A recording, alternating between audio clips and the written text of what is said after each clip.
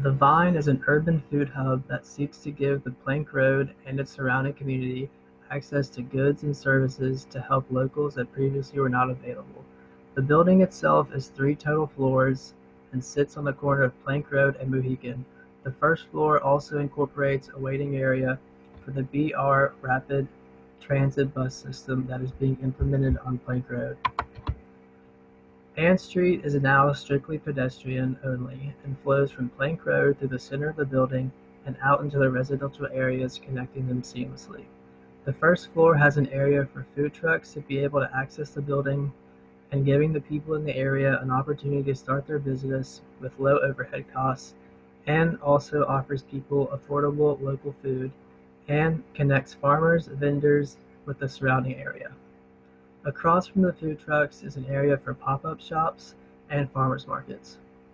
In between these two spaces is a system of hydroponic regrowth rings. So in the building, when there are leftover stems such as broccoli and other vegetables, you can use these stems to regrow them and keep this cycle sustainable.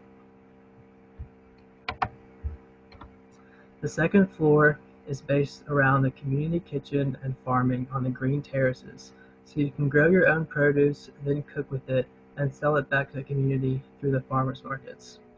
On the south side is the offices for the workers on site, and outside this office is a demonstration garden to show the locals the proper way to start a garden. On the third floor is a teaching kitchen that overlooks Plank Road and offers classes to all ages throughout the day. And on the other side is a food processing facility if people need to ship, store, and process their food, adding a second layer of income.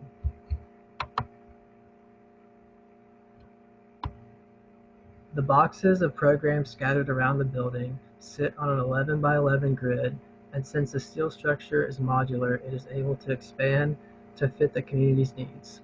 The program is surrounded by green terraces that offer space for planting your own food and helps mitigate stormwater runoff and flooding in the community. The roof catches the water on site and is then recycled for irrigation throughout the program and throughout the vertical farming walls through a drip system. The building site on top of a large green park space that connects the residential areas and universities back to Plank Road that previously were not there.